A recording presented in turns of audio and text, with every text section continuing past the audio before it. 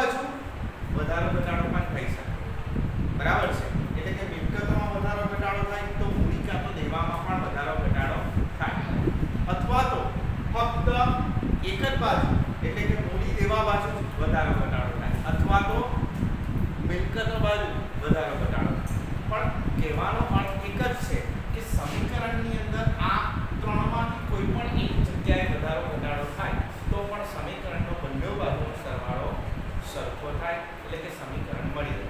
આ સિદ્ધાંતને અનુસરી આપણે વ્યવહારોની અસર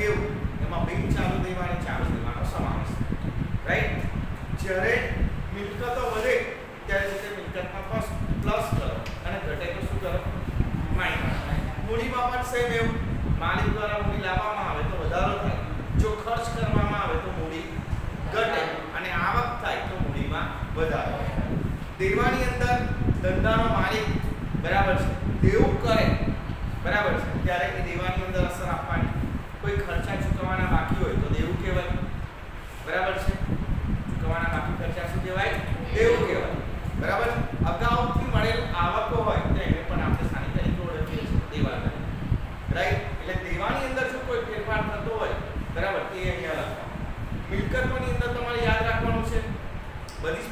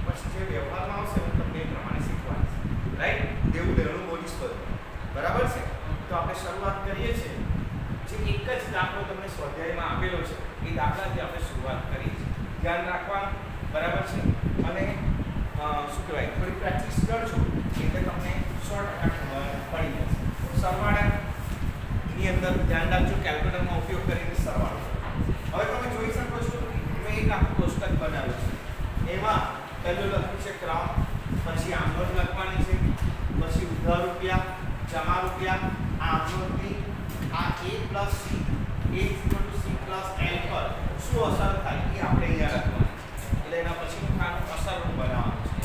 મિલકતો બરાબર સી એટલે કે મૂડી પ્લસ એલ એટલે કે દેવી આ પ્રમાણે આખું આપણે બરાબર ચોપડાની અંદર, બે પેજની અંદર તમે જોઈ શકો છો. પહેલું જે પેજ છે, એની અંદર તમે ગ્રીક ગ્રામ બરાબર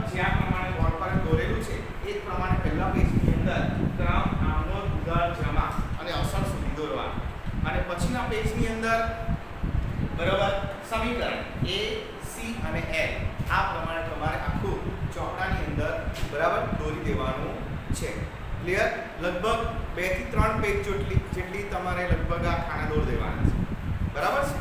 ચાલો, જેમ જરૂરિયાત પડે તેમ દોરતા જવાનું તો આપણે શરૂઆત કરીએ છીએ. આ પ્રમાણે તમારે ખાના દોરી દેવાના છે. ચોપડીની અંદર પેજ નંબર એકસો પર, દાખલા નંબર બે છે. એનાથી આપણે શરૂઆત કરીએ છીએ. રાઈટ ચોપડીમાં રકમ વાંચો. નીચેના વ્યવહારોની આમ લખો અને તેની સમીકરણ આધારિત હિસાબી અસરો સમજાવો. પહેલો વ્યવહાર છે રૂપિયા એંસી હજાર લાવી ધંધો શરૂ કર્યો. ચાલો બોર્ડ પર ધ્યાન આપજો. ક્રમમાં લખવાનું છે નંબર એક. બરાબર?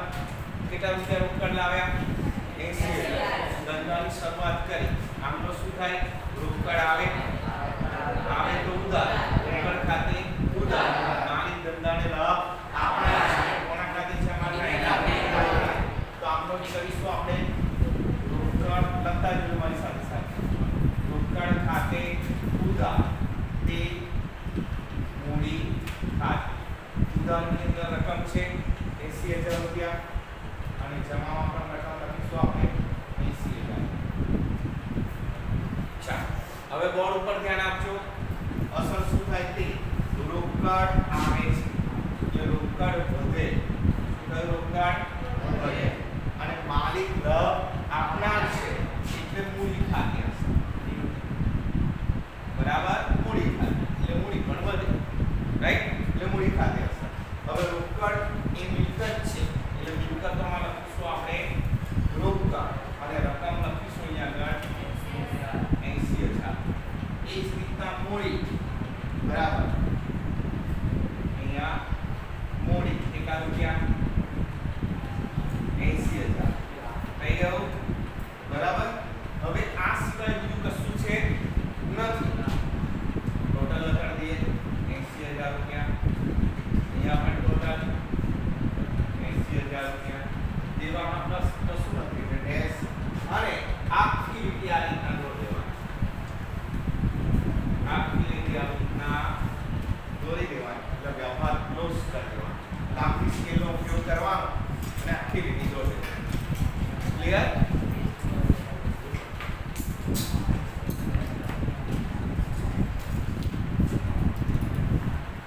ચાલો ખ્યાલ આવી ગયો બરાબર નેક્સ્ટ પોઈન્ટ વ્યવહાર નંબર બે રૂપિયા વીસ હજાર ચોપડીમાં ધ્યાન રાખજો વ્યવહાર વાંચજો રૂપિયા વીસ હજાર બેંકમાં ભરીને ખાતું ખોલાવ્યું ચાલો ક્રમમાં લખીશું નંબર બે બેંકમાં ભર્યા ખાતું ખોલાવ્યું બેંક લાભ લેનાર આમ નોંધ લખવાની છે બરાબર ને બેંક લાભ લેનાર છે બેંક ખાતે ઉધાર થશે. અને રોકડ જાય જાય તો જમા એટલે રોકડ ખાતે જમા થશે વીસ હજાર શું આપણે લખીશું બેંક ખાતે ઉધાર વીસ હજાર રૂપિયા તે રોકડ ખાતે વીસ હજાર ચાલો રોકડ સોરી ઉધાર એટલે બેંક શિલા વધી અસરમાં બેંક શું વધે શિલા વધે અને રોકડ જાય એટલે રોકડ ઘટી ઘટે એટલે રોકડ ઘટે હવે બોલ ઉપર ધ્યાન આપજો રોકડ પહેલા કેટલી હતી 80000 એમાં લખું છું રોકડ 80000 હવે ઘટી તો માઇનસ થઈ કેટલા રૂપિયા માઇનસ બેંકમાં ભર્યા બેંકમાં ભર્યા કેટલા ભર્યા માઇનસ કરો તો હવે બોલ થઈ જશે સાઠ હજાર અને અહીંયા બેંક સિલક વધી બેંક એ મિલકત કહેવાય બેંક સિલક શું કહેવાય મિલકત એટલે બેંક સિલક અથવા તો ખાલી બેંક એટલું લખો તો પણ ચાલ કેટલા ની હશે વીસ ટોટલ કેટલા એંસી હજાર અહીંયા આ એંસી હજાર એમાંને એવા મૂડીના એંસી હજાર એના એંસી અહીંયા એંસી હજાર બરાબર ચલો અહીંયા ડેશ પછી આખી લીટી દોરી દેવાની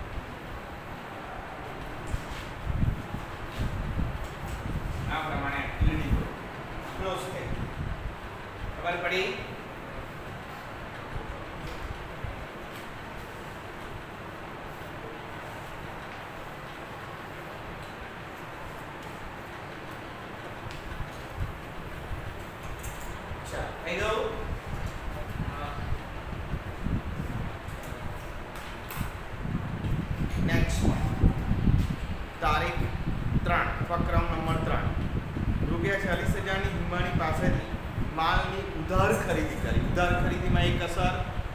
વ્યક્તિ ખાતે ખરીદવાથી માલ આવે એટલે ખરીદ ખાતે આવે તો ઉધાર એટલે ખરીદ ખાતે ઉધાર હિમાની લભ આપનાર છે હિમાની ખાતે જમ સો આમનો લખીશું ખરીદ ખાતે ઉધાર કે હિમાની ખાતે ખરીદ ખાતે ઉધાર કેટલા રૂપિયા છે ચાલીસ હજાર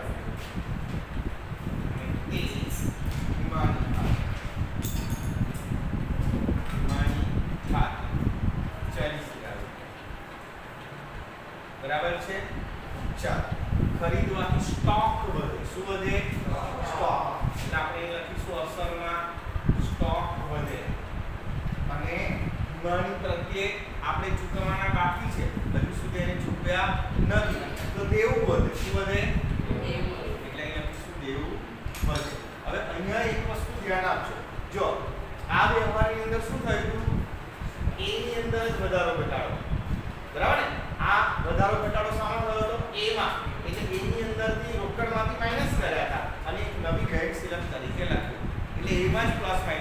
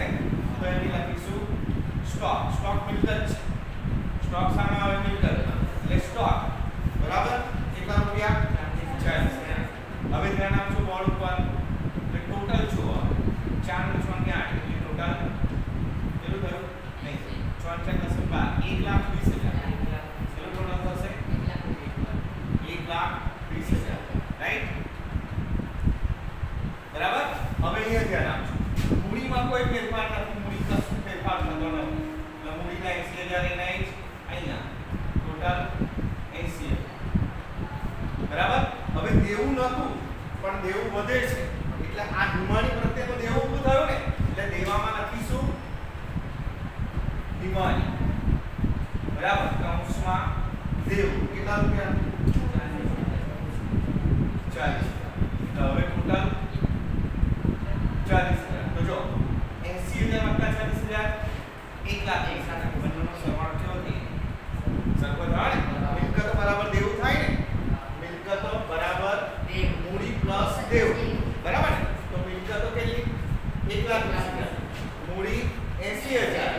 Deu um tchau.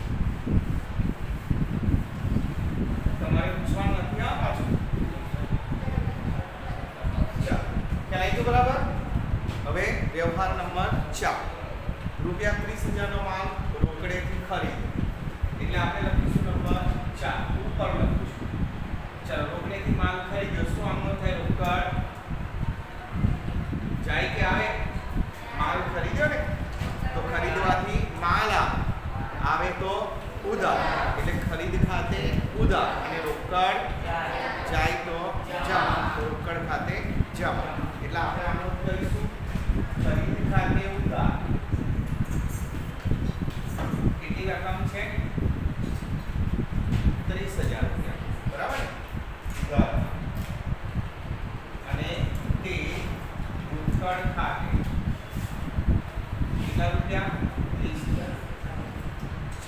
ધ્યાન આપજો.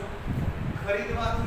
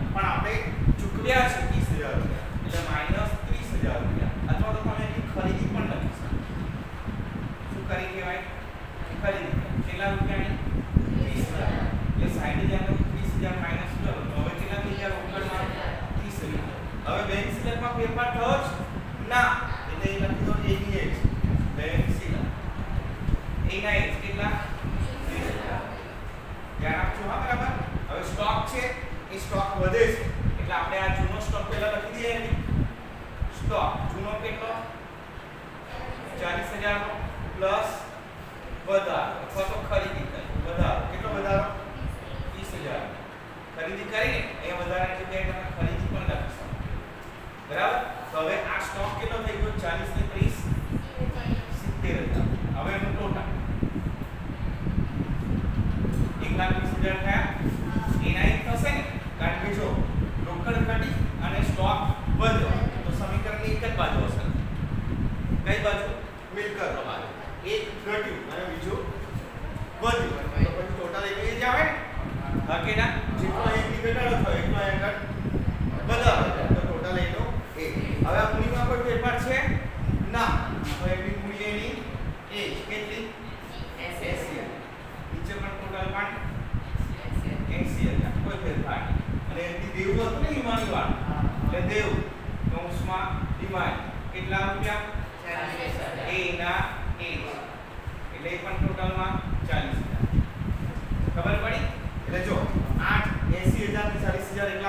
fíjate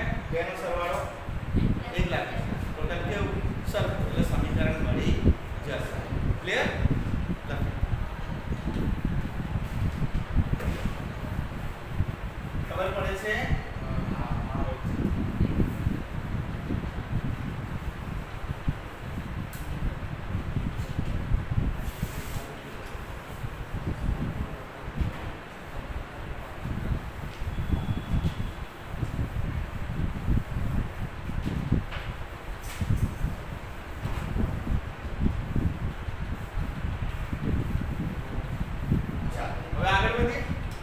નેક્સ્ટ પોઈન્ટ હવાલા નંબર વ્યવહાર નંબર પાંચ. હવે ધ્યાન આપજો, પાંચમા વ્યવહાર. પાંત્રીસ હજાર રૂપિયાનો માલ જસલીનને રૂપિયા પંચાવન હજારમાં ઉધાર વેચ્યો. હવે ઉધાર વેચ્યો છે એટલે એક અસર ખાતે આવે? વ્યક્તિ ખાતે. વ્યક્તિ કોણ છે? જસલીન. વેચવાથી માલ જાય જાય તો જમા. એટલે આમનું શું કરીશું? જસલીન લાભ લેનાર છે એટલે જસલીન ખાતે ઉધાર, તે વેચાણ ખાતે જમા. કેટલા રૂપિયાનો માલ? પંચાવન હજાર. એટલે આપણે પૂરેપૂરી રકમ પંચાવન હજાર લખીશું. કારણ કે પાંત્રીસ હજારનો માલ છે, પણ એને વેચ્યો કેટલામાં? પંચાવન હજાર. રાઈટ ચાલો, હું અહીંયા લખું છું નંબર પાંચ. જસ્ટિન ખાતે ઉધાર. પંચાવન હજાર.